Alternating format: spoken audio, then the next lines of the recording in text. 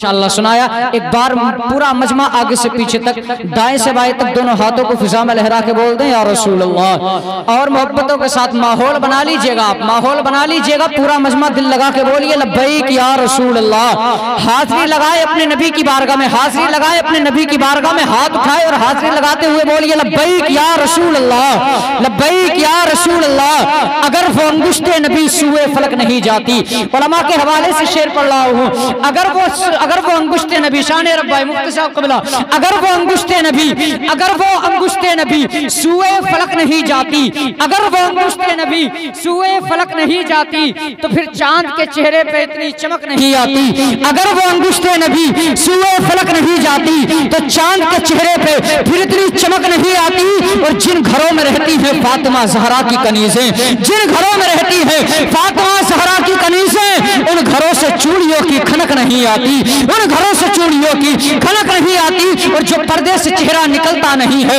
वो रुसवाइयों में उछलता नहीं है। वो कैसे संभालेगी बच्चों को अपने? वो कैसे संभालेगी बच्चों को अपने? दुपट्टा भी जिससे संभलता नहीं है। वो कैसे संभालेगी बच्चों को अपने? दुपट्टा भी जिससे संभलता नहीं है। बिना किसी ताखिर के, बड़ी तेज़ी के साथ आप हजरात की खूबसूरत सिमातों की दलीज तक, अल्हम्दुलिल्लाह, मैं शायर अहले सुन्नत, मद्दाह रसूल, बुलबुल बाग रजा। जनाब भाई मोहतरम शान अरब साहब कबला मुरादाबादी को पेश करता हूँ। हज़रत तेज़ी के साथ तशरीफ़ लाए। आज पूरा मजमा अपने दोनों हाथों को फिजा में लहराए। इस्तिकबाल या नारा लगा ले, बोले, नारे तकबीर। हाथ उठा लें यार, मुफ्ती साहब आने वाले बाद में, बिल्कुल। हज़रत के बाद में आएँगे। बोलिए, नारे तकबीर।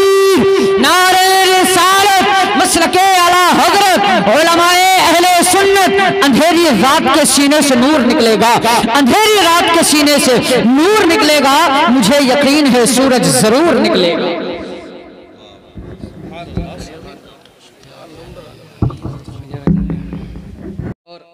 बहुत अच्छा भाई मोहतरम शाह रब आप हजरात को सुना करके गए। इंशाल्लाह तबारक व आप हजरात देख रहे हैं मेंबर रसूल की बहारों में और भी इजाफा हो गया है। अल्हम्दुलिल्लाह खतीब अहल सुन्नत मुकर्र ज़िवकार आलिम नबील फ़ाज़िल जलील उस्ताद मोहतरम हज़रत हज़रत मौलाना मोहम्मद हुसन आलम साहिब कबला मिसबाही, साथ ही साथ सूफ़ी बाशफ़ा ख़तीब अहल सुन्नत हज़रत मौलाना मुफ्ती मोहम्मद रज़ा रज़वी मंजरी साहिब कबला, दामद बरकातहुमुल क़ुदसिया वल रसूल पर जलवगर हैं। और इंशाअल्लाह तबारक व तआला अब बहुत तेज़ी के साथ आप हजरात हज़रत का खिताब समात करेंगे। मैं चार मिसरे पढ़ता हूँ, आसमा गर तेरा मीनार बहुत ऊँचा है। अगर वाकई आप हजरात बहुत अच्छा सुनना जानते हैं तो दोनों हाथों को हज़रत को बताएँ कि हम कैसा सुनते हैं। हाथ उठा के बोले सुबह अल्लाह। अच्छा एक बात मानेंगे आप नबी के जलसे में बैठे?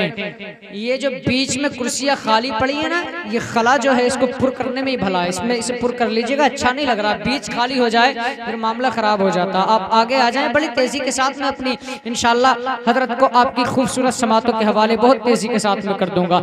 है ना मज़ा तभी आता जब बंदा सामने से हो, उस्ताद सामने हो और शागिर्द भी आमने सामने से जब पढ़े, तब अच्छा समझ में आता। एक बार अपने दोनों हाथों को फिजा में लहरा के बोले, या रसूल अल्लाह और मोहब्बतों के साथ पीछे वाले भी बोल सकते हैं, जायज़ है उनके लिए भी बोलना। एक बार हाथों को फिजा में लहरा के बोले, या रसूल अल्लाह और मोहब्बतों के साथ बोले, लब्बैक या रसूल अल्लाह लब्बैक या रसूल अल्लाह लब्बैक या रसूल अल्लाह आसमां गर तेरा मीनार बहुत ऊँचा है, आसमां गर तेरा मीनार बहुत ऊँचा है, उनकी नालैन का मेयार बहुत ऊँचा है। उलमा की तवज्जो का तालिब हूँ, आसमां गर तेरा मीनार बहुत ऊँचा है, उनकी नालैन का मेयार बहुत ऊँचा है। और हम गुलामों की गरीबी से न धोखा खाना।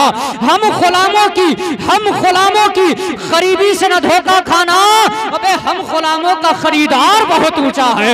हम गुलामों का खरीदार बहुत ऊँचा है। और कुछ इस तरह से नबी का गुलाम चलता है। शेर पढ़ रहा हूँ, अगर वाकई मुस्तफ़ा की गुलामी का पट्टा गले में है तो कोई शख्स खामोश नहीं रहेगा। शेर पढ़ता हूँ, अपने हाथों को फिजा में लहरा के बोले, या रसूल अल्लाह कुछ इस तरह से नबी का गुलाम चलता है। कुछ इस तरह से नबी का गुलाम चलता है, सफों को चीर के जैसे इमाम चलता है। कुछ इस तरह से नबी का गुलाम चलता है, सफों को चीर के जैसे इमाम चलता है, और वो दुनिया थी जहाँ सालिम का ज़ोर चलता था। वो दुनिया थी, वो दुनिया थी, जहाँ जालिम का ज़ोर चलता था, ये हश्र है, यहाँ आका का नाम चलता है।